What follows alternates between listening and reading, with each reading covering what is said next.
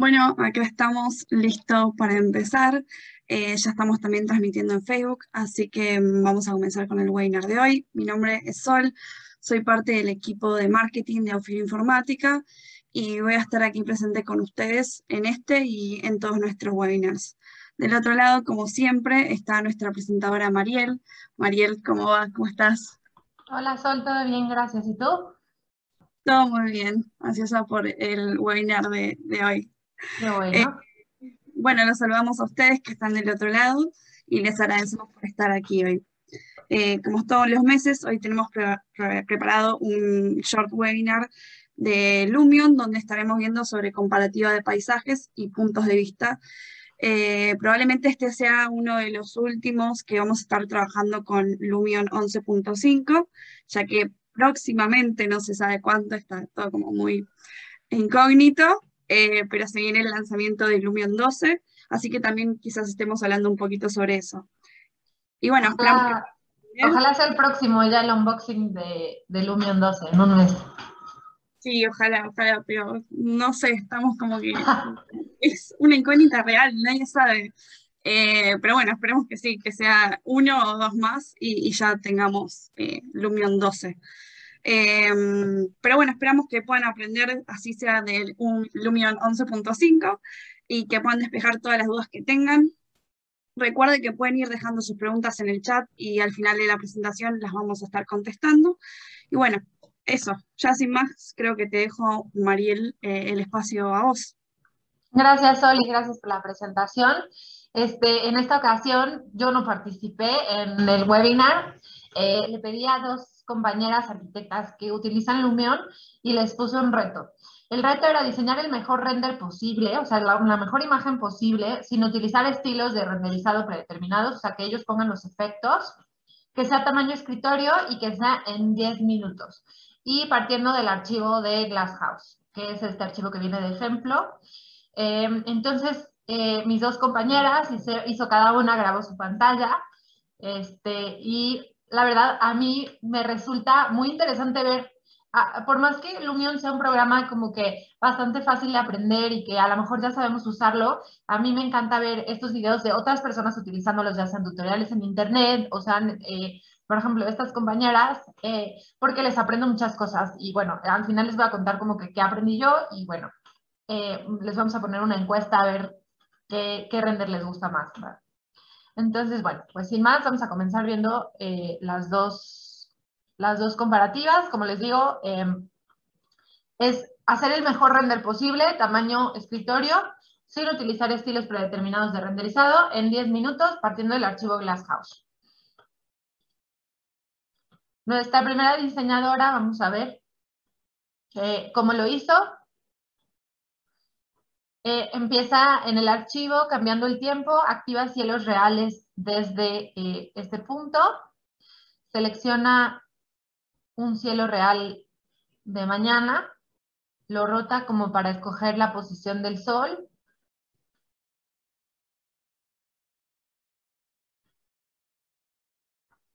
Vamos a ver, lo sigue rotando por ahí.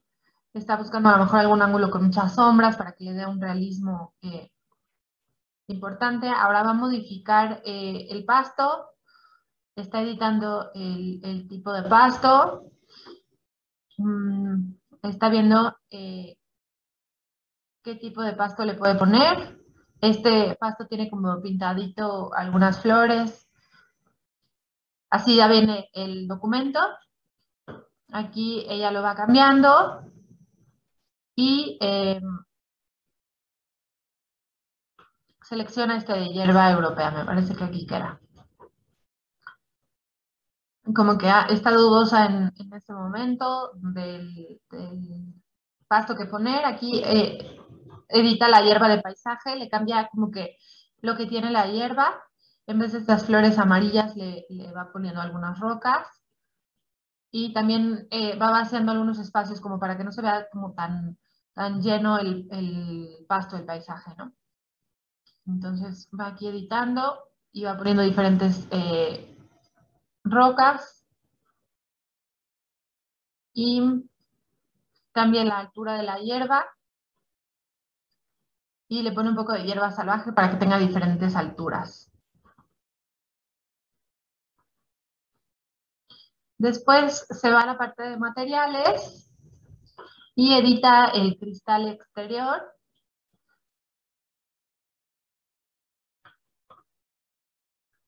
Em, aquí le aumenta la reflectividad, le cambia las reflexiones eh, internas.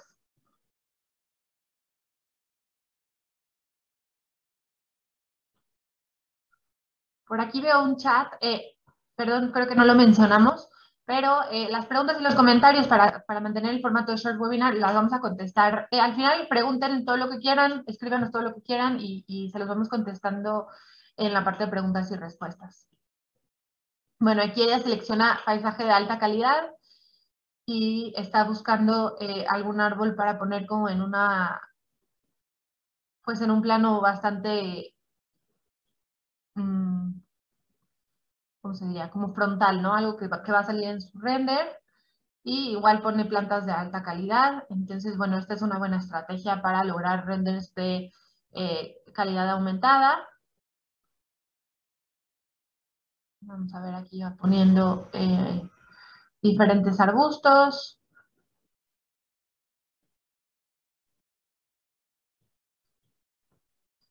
Igual por acá eh, pone unas macetas.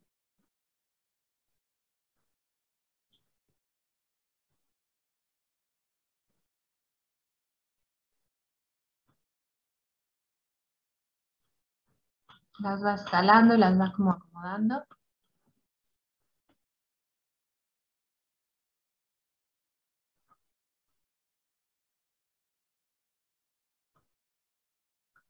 Y luego las duplica de este lado.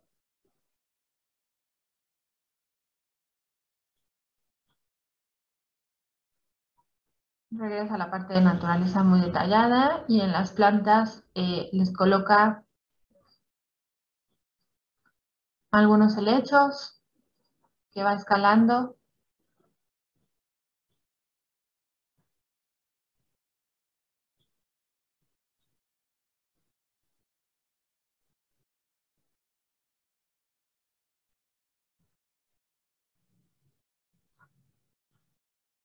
Vamos viendo cómo va poniendo los helechos dentro de las macetas. Creo que salió un poco por ahí. Otro tipo de lechos. Toda la naturaleza que está colocando es de alta calidad. O muy detallada más bien. Entonces, esta es una buena estrategia para cuando sabes a dónde va a ser tu render y solamente ponerlo donde la necesitas, ¿no? Por ejemplo, yo como diseñadora, viéndolo eh, desde fuera, a lo mejor los arbustos que tiene ella atrás de las macetas, para ahorrar, eh, digamos que capacidad del archivo, yo no los hubiera puesto de alta calidad, ¿no? Eso va eh, como dependiendo de cada quien, de cada usuario. Pero me gusta que los que están en las macetas y que el que está en el árbol sí los ponga de alta calidad. Y me gusta lo que hizo con las macetas, que una maceta del mismo tamaño, la, la, la hizo tres veces y le cambió el tamaño. Entonces parecen estos sets de macetas que ya venden hechos. Em, de diferentes tamaños se ven muy bien. Aquí va acomodando eh, estos plantos que puso. Aquí es lo que les comento, ¿no? Por ejemplo, ahí hay un arbusto de naturaleza detallada que queda atrás de la maceta. Bueno, eso, pues a lo mejor eh, se puede poner un arbusto normal para no eh, sobrecargar a nuestro programa tanto también. Ahí va acomodando dentro de las macetas eh, las plantas, eso a veces es eh, complicado porque nos toma como que el borde de la maceta como referencia, entonces este, hay veces que pues cuesta un poquito de trabajo centrarlas o creemos que ya están, no sé si a ustedes les ha pasado, creemos que ya están y este y al final sacamos el render y está volando o algo así. Esto suele pasar. Y hablando de, bueno, pues de la experiencia de ustedes, eh, sé que la mayoría de las personas que nos ven son usuarios, entonces, eh, los quería invitar a que hagan este reto, ¿no? A que abran su Lumion, a que abran eh, la Glasshouse y hagan el mejor render posible en 10 minutos y nos los compartan, ¿no? A lo mejor los podemos ir compartiendo en el próximo webinar, eh, ir mostrándolos, la verdad es que es algo interesante. Bueno, aquí vamos a ver cuánto, se, se tardó 6 minutos poniendo pues sus los objetos en el diseño y empieza a añadir efectos. Pone corregir fugas verticales, eh, pone sol,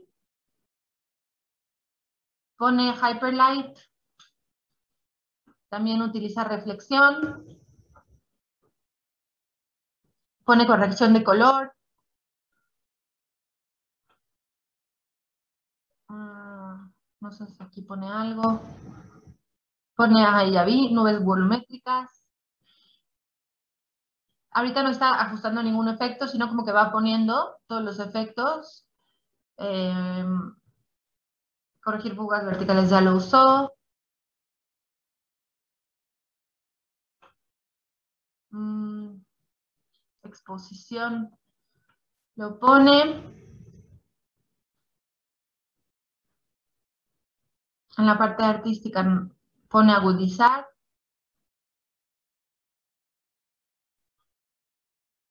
Y en avanzados se queda solamente con Hyperlight y reflexión que ya los tiene.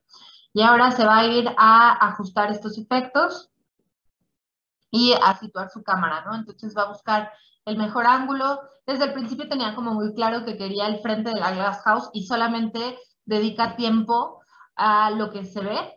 Eso es algo como de apreciar, porque muchas veces no tenemos en claro qué es lo que vamos a mostrar y pasamos mucho tiempo diseñando eh, pues a lo mejor vistas que la verdad es que no tienen tanto chiste y perdemos de, de, vista lo que sí se ve, ¿no? O le, o, le, o le, restamos atención por cosa del tiempo. Aquí va ajustando eh, todos los parámetros que puso y va haciendo previsualizaciones, dando clic eh, en el centro de la pantalla, va previsualizando. Me gusta cómo se ven sus, sus nubes volumétricas. Por ejemplo, yo Siempre uso eh, cielos reales y nunca había puesto más nubes.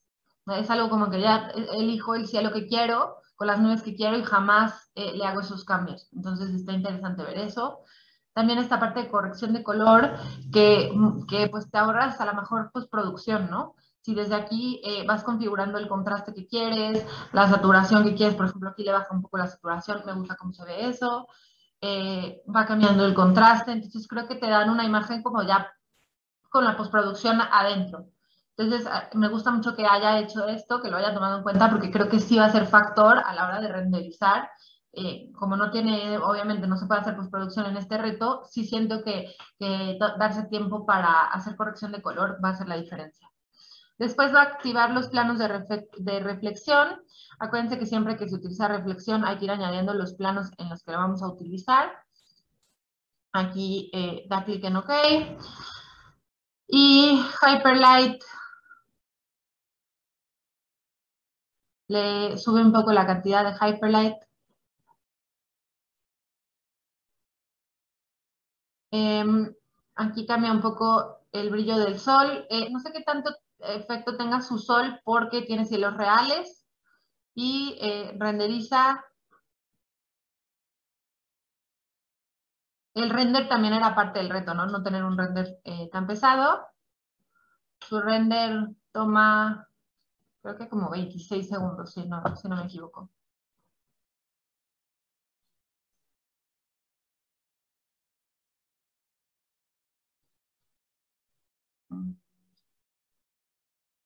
Yo creo que sí va por ahí. Entonces, bueno, este fue el primer render. Se los enseño aquí. No, perdón. Bueno, ahorita se los enseño bien puesto. Ahora vamos con la siguiente eh, diseñadora. No me regresé.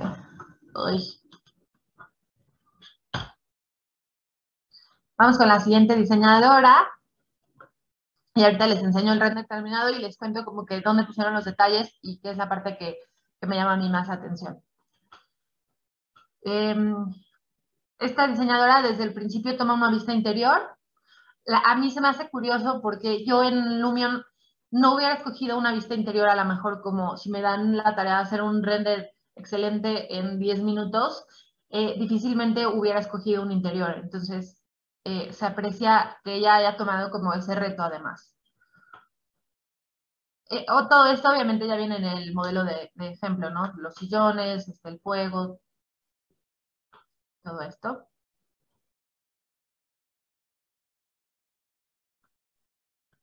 Ahí va situando su escena. Ella lo está em, haciendo desde antes. La otra diseñadora lo hizo al final. Ella desde antes lo va haciendo. Y, por ejemplo, eh, escoge un árbol que supongo que lo va a tener para una vista eh, de exterior. Entonces toma este árbol como muy emblemático y lo va a colocar aquí en la parte de afuera. Eh, ahí le va buscando como la mejor vista a este árbol, que la verdad es muy bonito. Mi internet creo que está fallando, déjenme bajarle un poquito la calidad, a lo mejor va mejor. Un segundito. Perfecto. Después aquí entra efectos y está buscando algún efecto en específico y eh, escoge el efecto de niebla. Esto a me hizo muy curioso, como que nunca uso la niebla yo. Entonces fue algo como muy interesante ver que alguien pusiera niebla. La verdad es que si hago una escena lloviendo le pongo niebla en el efecto de lluvia, ¿no? Entonces que lo hiciera desde aquí, eh, siento que le aumenta realismo y, la verdad eh, pues es algo que yo nunca había tomado en cuenta. Por eso les digo que, aunque ya sepamos usar Lumion, ah, bueno, a mí por lo menos ya, sabiendo usar Lumion, me encanta ver cómo otros diseñadores lo manipulan, porque siento que siempre va a ser distinto, ¿no? Aquí eh, se va a la parte de interiores. Va a poner esa orquídea en la mesa.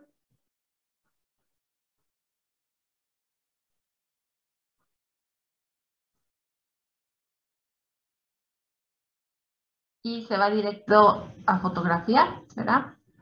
Creo que va a poner algunas luces, por ejemplo, esto, esto de las luces eh, a lo mejor no lo tuvo que hacer eh, la diseñadora que estaba trabajando eh, en el exterior, ¿no? Solamente con, mover el sol, con manipular el cielo ya tenía bastante control sobre las luces y cuando estás en un interior, a lo mejor para aumentar el realismo, hay que entrar en estos detalles va a poner un control de reflejos. Este control de reflejos está en las utilidades, no sé qué tantos de ustedes eh, lo utilicen, y es para que no se refleje todo demasiadas veces.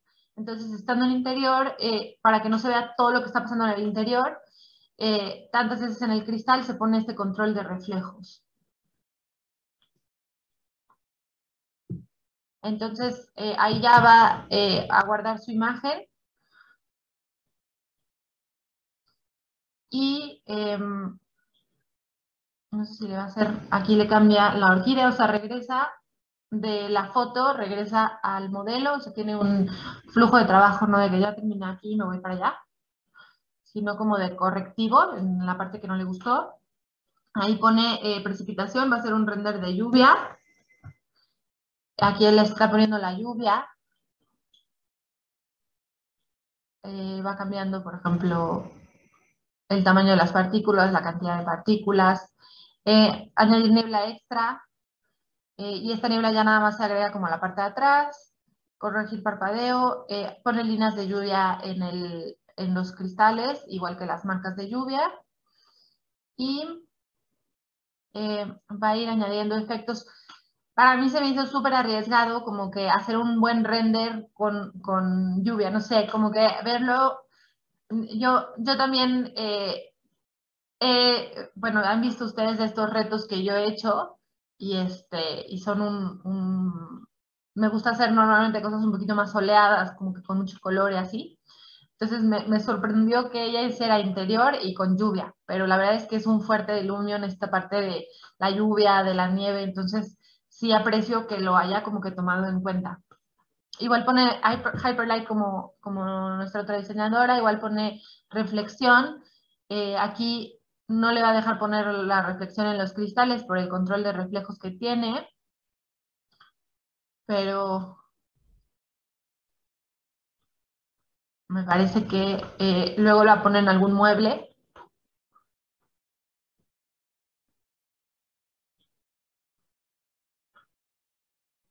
Ahí actualiza perdón, no en mueble, pero la coloca como, en, como en el piso, que me acuerde yo, y como en los libreros.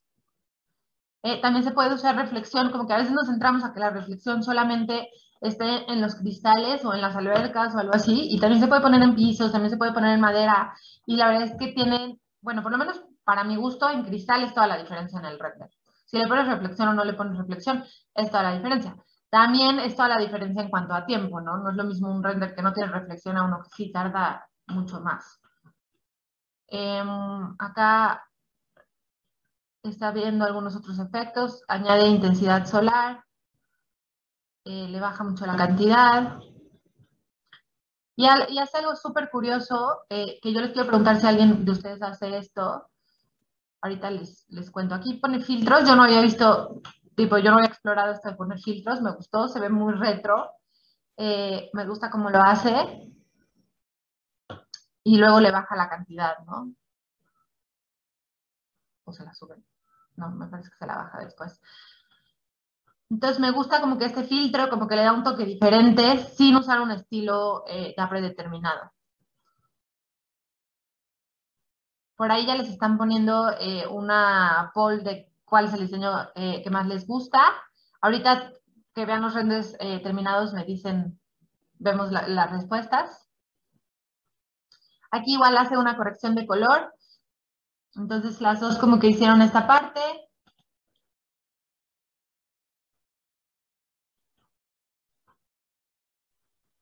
Cambia un poco la, vibración, el brillo. Le va cambiando el contraste. Está bastante cálida su imagen. Eh, eh, y se aprecia como que lo que ella logra, logra como un lugar acogedor, aunque los muebles son muy modernos, a mi punto de vista. O sea, como que sí se ve un lugar en el que está calientito y afuera está lloviendo hay una tormenta, pero yo estoy aquí.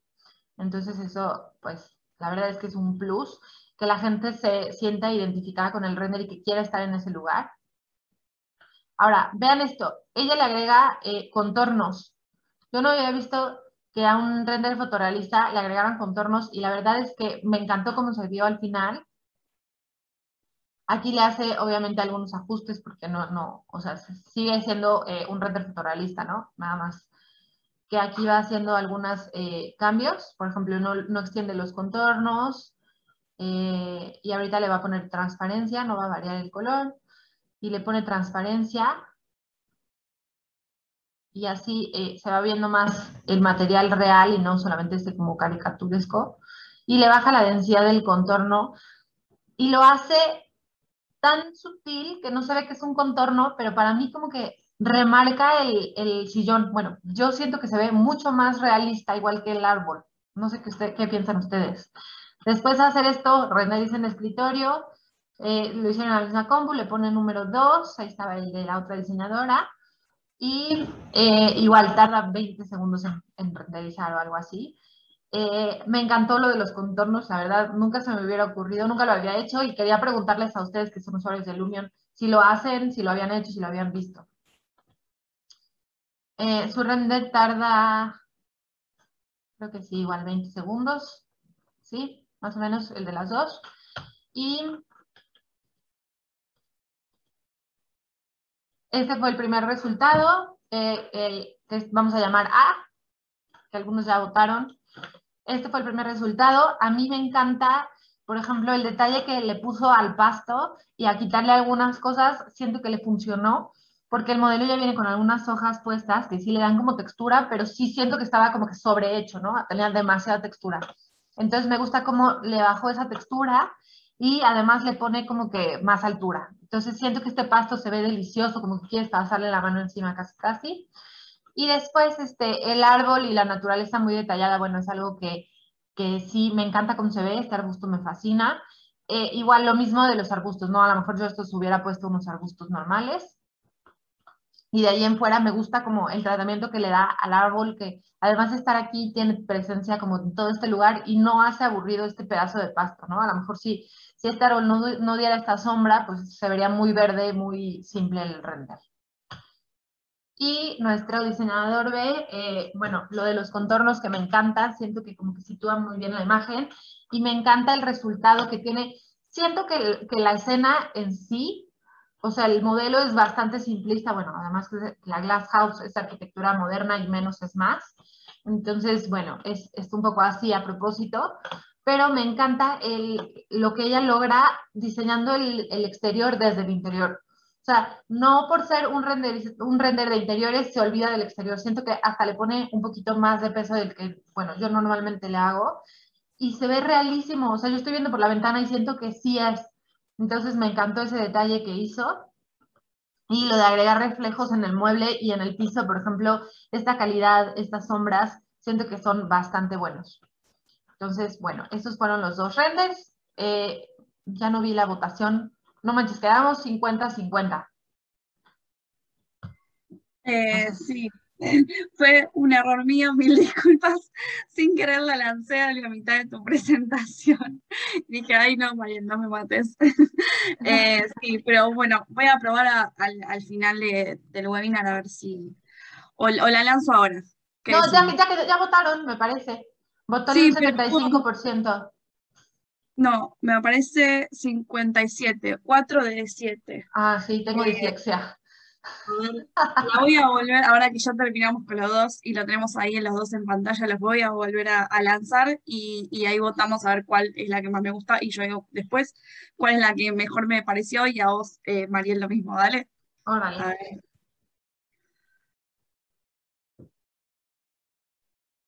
Ahí está.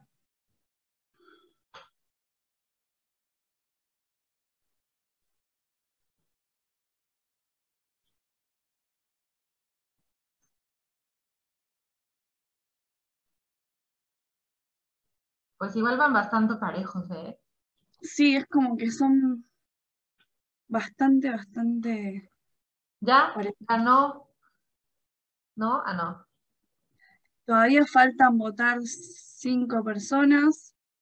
Vamos a dar unos segunditos más. Está ganando el B, no lo puedo creer. Sí. Juré que iba a ganar el A por mucho. ¿Sabes que yo también? Sí, como que lo vi más como que llamativo del exterior y eso, pero wow. Igual el B está bastante lindo, pero no sé. Oh, claro. No, el exterior me, me, fascinó lo que hizo con el exterior. Y lo que les digo, obviamente la, la Glass House es muy simple, ¿no? Si esto fuera un interior, como que un poquito más con otros muebles y así todavía luciría más, pero qué reto tan grande como que gané este render de interior cuando está tan simple. Me, gustó eso. Claro. Eh, bueno, ya está la terminamos. Ganó 60% el, el, modelo B y 40% el modelo A. Increíble, inesperado.